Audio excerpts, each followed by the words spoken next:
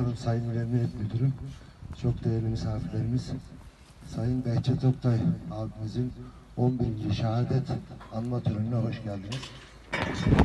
İzahum fi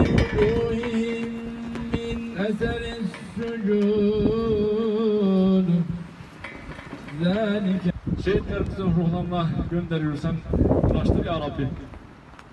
Ya Rabbel Alemin, Ya Erhamer Rahimin, Behçet Oktay şehidimizin ruhlarını şad eyle, makamlarını cennet eyle, ruhlarını aile eyle ya Rabbi. Bütün şehitlerimizin ruhlarını aile eyle, şad eyle ya Rabbi. Ya Rabbel Alemin, Ya Erhamer Rahimin. Amin.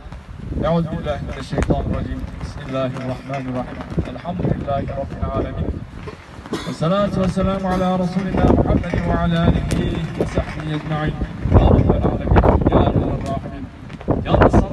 ibadet eder, yalnız senden yardım dileriz. Bizleri doğru yola ilet ya Rabbi. Kendilerine nimet verdiklerini yoluna ilet ya Rabbi.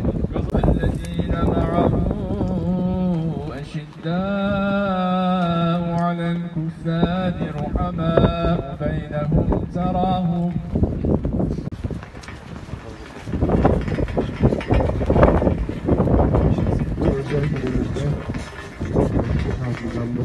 adlı başındaki programımız burada son buldu.